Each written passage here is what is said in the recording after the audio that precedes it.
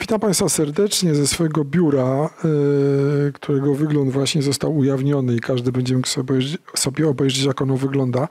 Nagrywamy to z Michałem, bo nie mogłem pojechać do Warszawy i w ramach programu ministerialnego Kultura w sieci, yy, tak jak obiecałem, będę yy, tak w umowie się zadeklarowałem, że będę czytał nie tylko fragmenty tych książek, które zostały już napisane, ale także tych, które dopiero się ukażą. Nie wiem kiedy, bo y, ja jak zwykle podejmuję zadania, których potem sprostać nie mogę, ale pomyślałem sobie, że napiszę książkę o Hiszpanii. To jest oczywiście szaleństwo, y, ale mm, no pomyślałem, że napiszę taką książkę. Dlaczego o Hiszpanii akurat, to zaraz Państwu wytłumaczę. Przeczytam, to się, to się okaże po przeczytaniu wstępu. Paralele, pokusy, pułapki. W przedziwnych i trudnych już dziś w odbiorze tekstach Joachima Lelewela dotyczących dziejów Polski i Hiszpanii, a także istniejących w tych dziejach paralel, odnajdujemy przede wszystkim zachętę do poszukiwania i wskazywania takich związków. Autor dzieła historyczna Paralela Hiszpanii z Polską przekonany jest ostatecznie co do słuszności i skuteczności takiej metody, która prowadzić ma badacza do prawdy.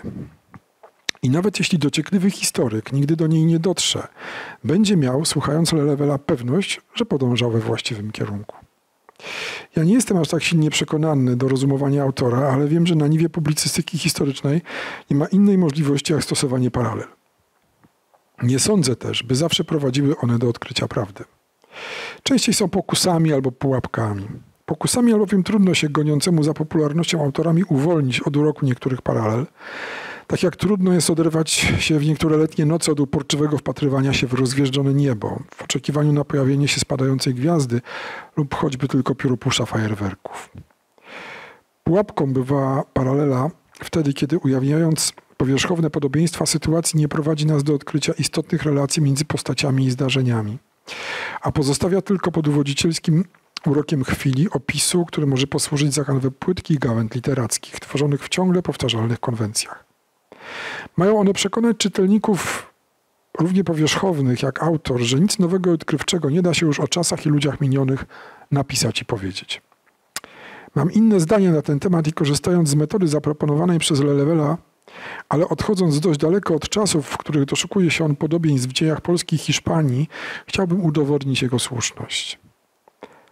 Tak jak to zwykle czynię, nie będę się uporczywie trzymał opisów źródłowych i relacji uświęconych przez publikacje akademickie. Sięgnę do opisów literatury popularnej, gdzie autorzy przeważnie nieświadomie i w dobrej wierze uprawiają przeróżne demaskacje, świadczące najczęściej bardzo źle o ich intencjach i spostrzegawczości.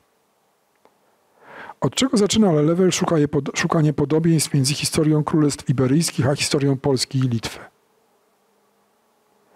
Od czasów późnego średniowiecza i prób skutecznych połączenia w jeden organizm wrogich sobie królestw. Zadziwia mnie zawsze w takich próbach jedno: ich powierzchowność i ignorowanie faktów, które stoją przecież wprost przed oczami pomijanie, sądzę, że świadome intencji głównych bohaterów dramatu, a także co najistotniejsze, tych bohaterów, których na pierwszy rzut oka nie widać, a którzy na pewno spełniali ważną rolę w opisywanych wydarzeniach, pożyczając pieniądze swoim marionetkom w koronach. Jest też inny rodzaj osobistości, o których, opis, o których opisując rzekomo odkrywcze podobieństwa w historii nie wspomina się nigdy albo stanowczo za rzadko. Mówią o tych, którzy kreując politykę globalną w oparciu o wyższe i sprawniejsze technologie, stają się moderatorami wydarzeń w zapadłych i zacofanych zakątkach świata, awansujących nagle i znienacka. Przyczynowego awansu ani Lelevel, ani inni historycy nie starają się odkryć nigdy. Paralela zaś jest dla nich bowiem tylko narzędziem, jest dla nich bowiem tylko narzędziem opisu, nie przypuszczają oni nawet, że podobieństwo między gwałtowną karierą krain i królów może być rzeczywiste, nieopisowe. Stwierdzenie takich faktów zawsze bardzo szokuje historyków i um-, uniemożliwia dyskusję z nimi. Nie szokuje za to pisarzy i popularyzatorów, którzy z wielkim zapałem stają się, starają się odkryć jak najwięcej ciekawych zdarzeń i postaci. Nie rozumieją jednak, jakie wnioski z tych odkryć płyną. Zanim wyjaśnię, czym jest ta książka, chcę wspomnieć tylko jeszcze, co rozumiem pod pojęciem wyższych i sprawniejszych technologii. To proste. Chodzi o flotę. Transport morski poruszany wiatrem albo siłą mięśni, ludzi zakutych w kajdany i w dawnych czasach niezależny zarówno od rynków, gdzie upłyniano surowce mineralne, jak i od rynku żywności. Wiatr i woda to elementy dające przewagę technologiczną ludziom, ludom, które zostały przez Stwórcę obdarzone w nadmiarze tymi bogactwami. Teraz zaś puenta. Dlaczego zabrałem się za pisanie tej książki? Żeby udowodnić innym autorom i sobie samemu, jak wiele miejsca jest pomiędzy obszarem zajmowanym przez zawodowych historyków, a wyspą zamieszkałą przez pisarzy i popularyzatorów. I jak straszliwe wichry hulają na powierzchni dzielących te lądy wód. Mam nadzieję, proszę Państwa, że tę książkę, która będzie się nazywała y, Tło koloru krwi, y, uda mi się skończyć niebawem, ale jak będzie naprawdę, tego nie wiem.